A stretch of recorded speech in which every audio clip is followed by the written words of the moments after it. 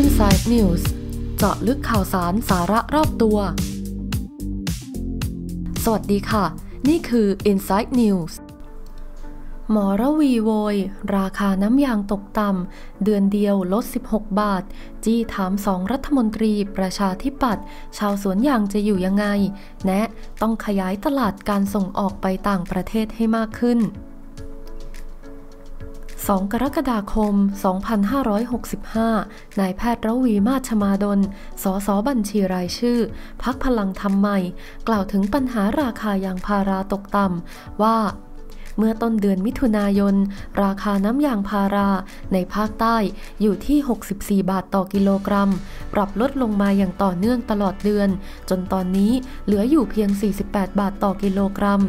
ราคาตกลงถึง 16 บาทก่อให้เกิดความยากลำบากแสนสาหัส แก่ชาวสวนยางทั่วประเทศ ยิ่งภาวะเศรษฐกิจตกต่ำ สินค้าค่าครองชีพสูงขึ้น เงินเฟอ้อสูงขึ้น ขนาดราคาอยู่ที่ 64 บาท ก็แย่อยู่แล้วถ้าต่ำแบบนี้ ชาวสวนยางจะอยู่รอดได้อย่างไร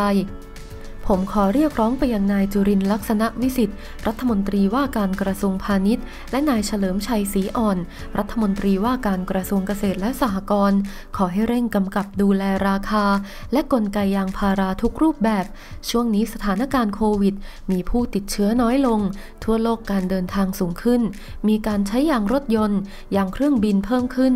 ราคาไม่น่าจะตกลงแบบนี้ เพราะฉะนั้นรัฐบาลต้องขยายตลาดและการส่งออกไปต่างประเทศให้มากขึ้นนายแพทย์ระวีกล่าวต่อว่า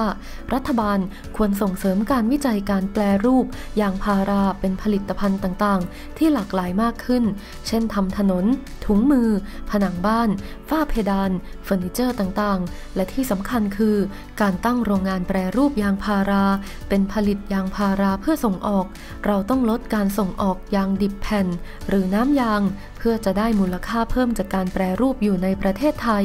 สิ่งที่ต้องแก้ไขในขณะนี้ คือต้องลดจำนวนสวนยางพาราลง ไปส่งเสริมให้มีการปลูกพืชชนิดอื่น ๆ แทน หรือใช้วิธีส่งเสริมให้ชาวสวนยาง ปลูกพืชเสริมในสวนยาง รวมไปถึงการเลี้ยงสัตว์ในสวนยางเพิ่มเติม เพื่อเป็นรายได้เพิ่มเติมให้กับชาวสวนยาง การส่งเสริมนี้เป็นหน้าที่ของรัฐบาลที่ต้องเข้ามาดูแล ขอขอบคุณข้อมูลดีๆ จากแนวหน้า